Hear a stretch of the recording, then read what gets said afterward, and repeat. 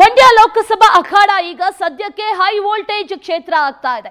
ಸಾಕಷ್ಟು ಕುತೂಹಲಕಾರಿ ಅಂಶಗಳು, ಬೆಳವಣಿಗೆಗಳು ನಡೀತಾ ಇದೆ. ದೆಹಲಿಗೆ ತೆರಳಿದ್ದಾರೆ ಮಂಡ್ಯ ಸಂಸದೆ Sumalatha Ambareesh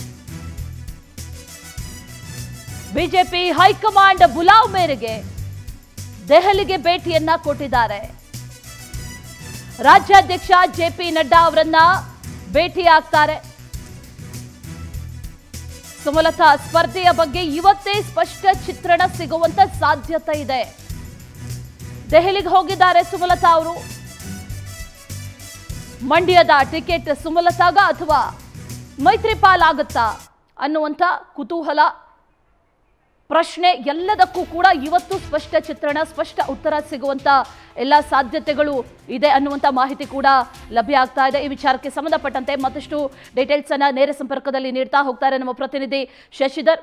ಶಶಿಧರ್, ಗಮನಿಸ್ತಾ ಇದೀವಿ ಮಂಡ್ಯ ಲೋಕಸಭಾ ರಣಕಣ ಇದೆಯಲ್ಲ, ಇದು ನಿಜಕ್ಕೂ ಕೂಡ ಬಹಳ ಕುತೂಹಲಕ್ಕೆ ಕಾರಣ ಆಗ್ತಾ ಇದೆ. ಇವತ್ತೇ ಕ್ಲಾರಿಟಿ ಸಿಗ್ಬೋದಾ?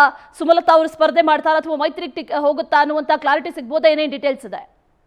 ಅಶ್ವಿನಿ ಲೋಕಸಭಾ ಚುನಾವಣೆ ಆಗಿರ್ಬೋದು ಇಲ್ಲ ವಿಧಾನಸಭಾ ಚುನಾವಣೆ ಆಗಿರ್ಬೋದು, ಸಾಕಷ್ಟು ಗಮನ ಸೆಳೆದೆ ಅಂದರೆ ನಮ್ಮ ರಾಜ್ಯದಲ್ಲಿ ಮಂಡ್ಯ, ಮೈಸೂರು, ಬೆಳಗಾಮು. ಈ ಮೂರು ಜಿಲ್ಲೆಗಳಲ್ಲಿ ಸಾಕಷ್ಟು ಪ್ರಸಿದ್ಧಿಯಾದಂಥ ಆ ಜಿಲ್ಲೆಗಳಂತಲೂ ಕೂಡ ಹೇಳ್ಬೋದು. ಅದರಲ್ಲೂ ಕೂಡ ಆ ರೆಬಲ್ ಸ್ಟಾರ್ ಅಂಬರೀಷ್ ಅವರ ಪತ್ನಿ ಸುಮಲತಾ ವಿಚಾರಕ್ಕೆ ಸಾಕಷ್ಟು ಪ್ರಸ, ಸದಾ ಸುದ್ದಿಯಲ್ಲಿತ್ತು. ಯಾಕೆ ಅಂತಂದರೆ ಕಳೆದ ಎರಡು ಸಾವಿರದ ಹತ್ತೊಂಬತ್ತರಲ್ಲಿ ನಡೆದಂಥ ಚುನಾವಣೆಯಲ್ಲಿ ಸಾಕಷ್ಟು ಅಜಗಜಾಂತರ ವ್ಯತ್ಯಾಸ ಇತ್ತು. ಆಗ ಸ್ವಾಭಿಮಾನದ ಮತಗಳನ್ನು ಕೇಳಿಕೊಂಡು ಯಾವುದೇ ಪಕ್ಷದ ಹಿಂದೆ ಹೋಗದಂತೆ ಸುಮಲತಾ ಅವರು ಪಕ್ಷೇತರ ಅಭ್ಯರ್ಥಿಯಾಗಿ ಕಣಕ್ಕಿಳಿದಿದ್ರು. ಆದರೆ ಈಗ ಅವರು ಎಲ್ಲ ಒಂದು ಕಡೆ ಬಿ ಜೆ ಪಿಯ ಬೆಂಬಲಿತ ಅಭ್ಯರ್ಥಿಯಾಗಿ ಘೋಷಣೆಯನ್ನು ಕೂಡ ಮಾಡಿಕೊಂಡ್ರು.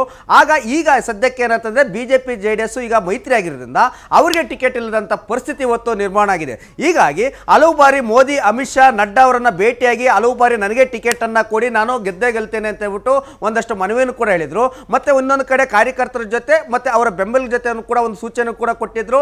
ನನಗೇನಾದರೂ ಟಿಕೆಟ್ ಅನ್ನ ಕೊಟ್ಟಿಲ್ಲ ಅಂದ್ರೆ ನಾನು ಬಂಡಾಯ ಅಭ್ಯರ್ಥಿಯಾಗಿ ಪಕ್ಷೇತರವಾಗಿ ಮತ್ತೆ ಕಣಕ್ಕಿಳಿತೀನಿ ಅಂತ ಹೇಳ್ಬಿಟ್ಟು ಒಂದು ಕಡೆ ಶಾಖನ ಕೂಡ ಕೊಟ್ಟಿದ್ರು. ಹೀಗಾಗಿ ಒಂದು ವೇಳೆ ಏನಾದರೂ ಸುಮಲತಾಗೆ ಏನಾದರೂ ವಂಚಿತ ಮಾಡಿದಂಥ ಆರೋಪ ಎಸ್ ಡಿ ಕೆ ಕುಟುಂಬ ಮೇಲೆ ಬಂದರೆ ಇನ್ನೊಂದು ಕಡೆ ಏನಾದರೂ ಸುಮಲತಾ ಏನಾದರೂ ಬಂಡಾಯವಾಗಿ ಕಣಕ್ಕಿಳಿದ್ರೆ ಎಲ್ಲ ಒಂದು ಕಡೆ ಎಚ್ ಡಿ ಕೆ ಕೂಡ ಸೋಲಿನ ಸುಳುವು ಆಗುವಂಥ ಸು, ಭೀತಿ ಈಗ ಅವರಿಗೆ ಸುಳುವು ಕೂಡ ಸಿಕ್ಕಿದೆ. ಹೀಗಾಗಿ ಎಸ್ ಡಿ ಕೆ ಮತ್ತು ನಿಖಿಲ್ ಕುಮಾರಸ್ವಾಮಿ ಅವರು ಕೂಡ ಕಣಕ್ಕಿಳಿಯೋದಕ್ಕೆ ಎಲ್ಲ ಒಂದು ಕಡೆ ಹಿಂದೇಟನ್ನು ಕೂಡ ಆಗ್ತಿದ್ದಾರೆ ಹಾಗಾಗಿ ಸುಮಲತಾವನ್ನ ಸೈಲೆಂಟ್ ಮಾಡಿಸೋದಕ್ಕೆ, ಆ ಎಚ್ ಡಿ ಕೆ ಅವರು ಕೂಡ ಈಗಾಗಲೇ ಅಮಿತ್ ಶಾ ಅವರನ್ನು ನಿನ್ನೆ ಭೇಟಿಯಾಗಿ ಒಂದಷ್ಟು ಅವ್ರಿಗೆ ಸೈಲೆಂಟ್ ಮಾಡಿ ಇಲ್ಲ ಅವರಿಗೆ ಕೊಡುವಂತಿದ್ರೆ ಟಿಕೆಟನ್ನು ಅವರಿಗೆ ಕೊಡಿ ಇಲ್ಲ ಹೋದ್ರೆ ನಮಗೆ ಟಿಕೆಟ್ ಕೊಡಿ, ನಾವು ಆ ಪಕ್ಷದಿಂದ ಅಭ್ಯರ್ಥಿಯನ್ನು ಹಾಕ್ತೇವೆ ಅಂತ ಹೇಳ್ಬಿಟ್ಟು ಕುಮಾರಸ್ವಾಮಿ ಅವರು ಕೂಡ, ಮೋದಿ ಮತ್ತು ಅಮಿತ್ ಶಾ ಅವರ ಹತ್ರ ಕೂಡ ಈಗಾಗಲೇ ಸೂಚನೆ ಕೂಡ ಕೊಟ್ಟಿದ್ದಾರೆ. ಹೀಗಾಗಿ ಸುಮಲತಾ ಅವರು ಕೂಡ ಇಂದು ಕೂಡ ದೆಹಲಿಗೆ ಭೇಟಿಯಾಗಿದ್ದಾರೆ. ಅಮಿತ್ ಶಾ ಜೊತೆ ಮಾತುಕತೆಯನ್ನು ಆಡಿ, ಏನಾದರೂ ಬೇರೆ ಕಡೆ ಏನಾದರೂ ಅವರಿಗೆ ಬೆಂಗಳೂರು ಉತ್ತರದಿಂದ ಏನಾದರೂ ಅವರಿಗೆ ಟಿಕೆಟನ್ನು ಘೋಷಣೆ ಮಾಡ್ತಾರಾ, ಇಲ್ವಾ? ಈಗಾಗಲೇ ಶೋಭಾ ಕರಂದ್ಲಾಜೆ ಅಲ್ಲಿ ಕೂಡ ಟಿಕೆಟನ್ನು ಕೊಟ್ಟಿದ್ದ ಘೋಷಣೆ ಮಾಡಿದ್ದಾಯಿತು.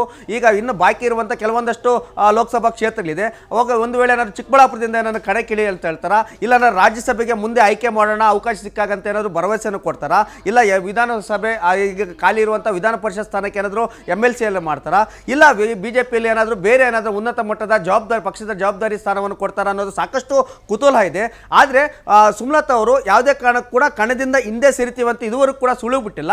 ನಾನು ಪಕ್ಷೇತರವಾಗಿ ನಿಲ್ತೇನೆ ಅಂತ ಹೇಳ್ಬಿಟ್ಟು ಭರವಸೆಯನ್ನು ಕೂಡ ಕೊಟ್ಟಿದ್ರು. ಅದ್ರ ಜೊತೆ ಬಿ ಜೆ ಪಿಯವರು ಕೂಡ ನನಗೆ ಟಿಕೆಟ್ ಕೊಡ್ತಾರೆ ಅನ್ನೋ ಭರವಸೆಯನ್ನು ಕೂಡ ಕೊಟ್ಟಿದ್ದಾರೆ. ಹಾಗಾಗಿ ಸುಮಲತಾ ಅವರು ಯಾವ ರೀತಿಯಾದಂಥ ನಿರ್ಧಾರ ತೆಗೆದುಕೊಳ್ತಾರೆ ಅನ್ನೋದ್ರ ಬಗ್ಗೆ ಮಂಡ್ಯ ಲೋಕಸಭಾ ಚುನಾವಣೆಯ ಭವಿಷ್ಯ ಇವತ್ತು ನಿಂತಿದೆ. ಹಾಗಾಗಿ ಕುಮಾರಸ್ವಾಮಿ ಅವರು ಕೂಡ ಕಾದು ನೋಡುವ ತಂತ್ರಕ್ಕೆ ಮೊರೆಯಾಗಿದ್ದಾರೆ Ashwini.